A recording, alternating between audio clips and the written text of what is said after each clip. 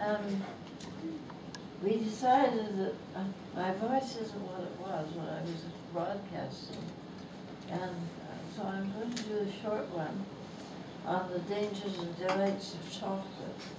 And then my son Chris, who's got a good reading voice, is going to come up and read.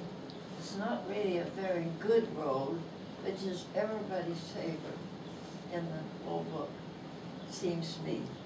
And so, uh, th- is this on?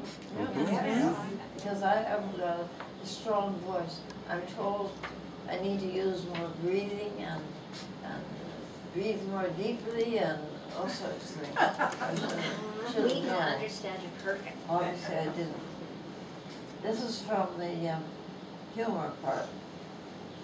Uh, my daughter, by the way, did all the titles and most of the work of collecting things for this book. She and I, between us, sort of chose what we use, but she did the hard work really.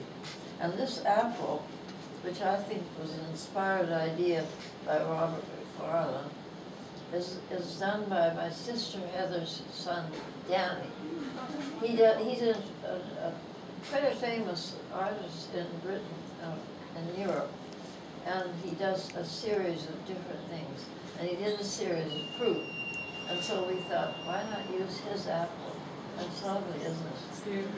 I think it's beautiful. And I like the idea that the Okanagan, to me, represents apples. And I think we need to support our farmers, uh, don't get me going on this.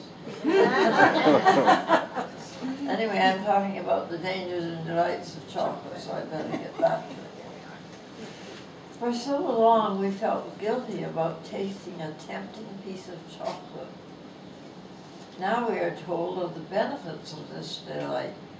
A square of dark chocolate, eaten daily, is said to be good for the heart. The cacao bean has taken on a new glow as one of nature's beneficial foods.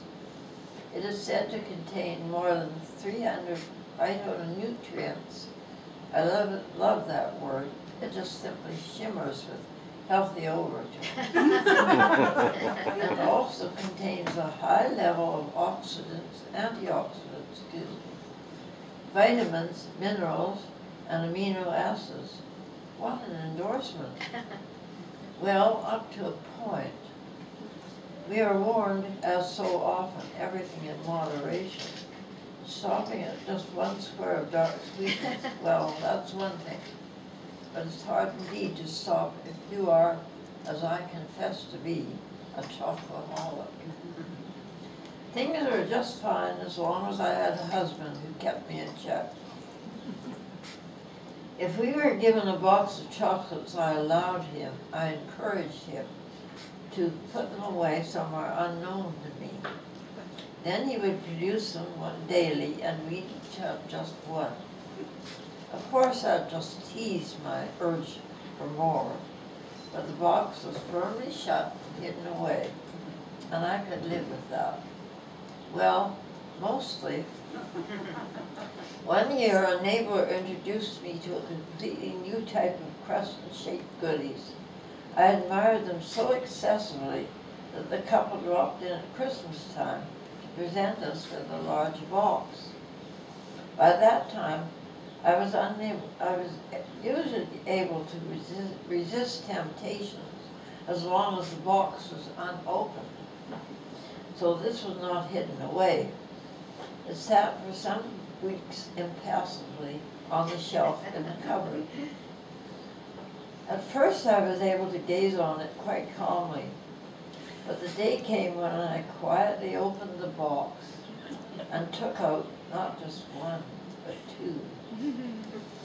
Then I closed the box, and somehow my misdemeanor went unnoticed.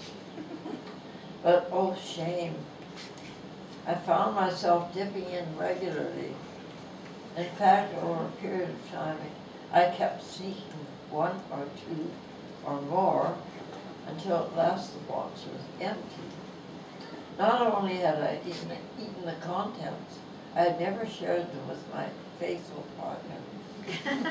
I waited guiltily for the inevitable day he decided we should make a start and took up that empty box. What happened to all those chocolates, Ken indignant roar. And the worst part was, I found no way to replace them and thus hide my guilt.